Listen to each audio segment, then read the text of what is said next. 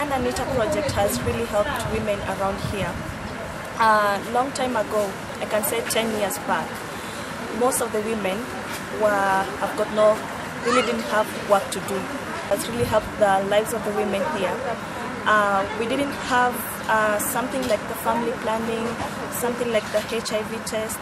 Uh, we didn't have, um, most of the women have not gone to school. So we have the adult literacy, and I can see most of the women have really tried to write their names. They can read the pattern, and it's uh, really progressive. Yeah. Uh, for me, uh, this is my sixth year working here uh, because I, uh, I finished school in 2004, and when I came here in 2005, um, I started working as a, a casual knitter at home, and then I was employed here permanently and it has really helped me because I have a daughter and I've, I've taken my child to school. Um, I can help my family because I have uh, two nieces and one nephew. I'm the breadwinner in my family. Yeah, yeah, there's no one else I really depend on. It's me only.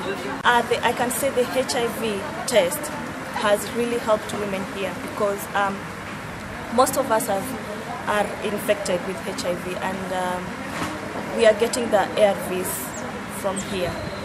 We are really getting help from here because um, I can remember long time ago as most of women or most people were dying home alone with no help.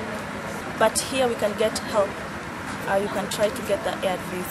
Uh, there was a lady who was very, very sick. Um, to a point of dying. And then she was one of the knitters and she got help here. And she's now really okay. You can't believe it, she's HIV positive. Yeah, yeah.